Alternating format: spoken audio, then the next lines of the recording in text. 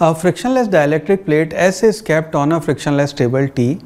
A charged parallel plate capacitor C, of which the play, of which the plates are frictionless, is kept near it. The plate S is between the plates of the capacitor. Uh, सवाल ये when the plate S is left between the plates, हमारे चार option है कि it will remain stationary. Uh, पहला option stationary on the table दूसरा option है it is pulled by the capacitor and will pass on the pass on to the other end option number C है it is pulled between the plates and will remain there option number D है all the above statements are false now यहाँ basic concept पे सवाल जाएगा। Uh, बहुत सारी किताबों में और वेबसाइट्सों पे या वेबसाइट्स पे इसका आंसर और सॉल्यूशन गलत दिया हुआ है। सो पे अटेंशन मैं आपको इसका सही सोल्यूशन और सही आंसर बताता हूँ क्या है। राइट सो सिनेरियो ये है कि ये आपकी एक टेबल है। और इस टेबल के ऊपर आपने ये टेबल है, उस टेबल के ऊपर एक स्लैब ऐसे रखी हुई है। और उस एक काम करते हैं, इसको ऐसे बनाते हैं। ये आपकी टेबल है। राइट ये आपकी टेबल ऐसे रखी हुई है। और उस टेबल के ऊपर एक स्लैब एस ऐसे रखी हुई है। आपकी स्लैब ऐसे।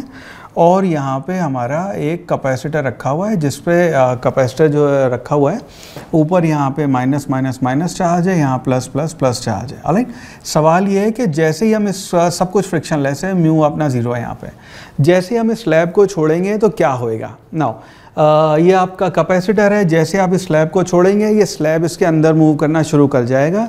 किताबों में और वेबसाइट्स पे जो इसका सोल्यूशन दे रखा है वो ऑप्शन नंबर सी कहते हैं। कहते हैं कि it is pulled between the plates ये पार्ट सही है एंड रिमेन देयर ये पार्ट सही नहीं है। आ, उसका एक्सप्लेनेशन जो उन्होंने दिया है वो एक्सप्लेनेशन गलत नहीं है लेकिन वैसा होगा नहीं। आ, होता ही है उसका एक्सप्लेनेशन वो देते हैं कि जैसे ये स्लैब अंदर जाएगा इसका कैपेसिटेंस आपका के टाइम्स बढ़ जाएगा। और आपकी जो एनर्जी है जिसको half Q square by C Q square by half Q square by C लिखते हैं।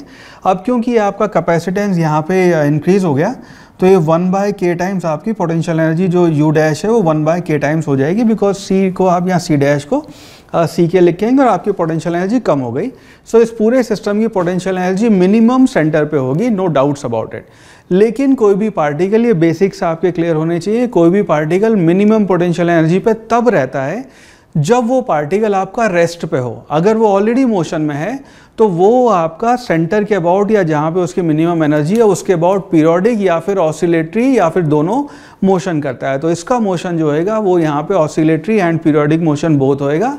और ये आपकी स्लैब जो है, ये आपका कैपेसिटर है।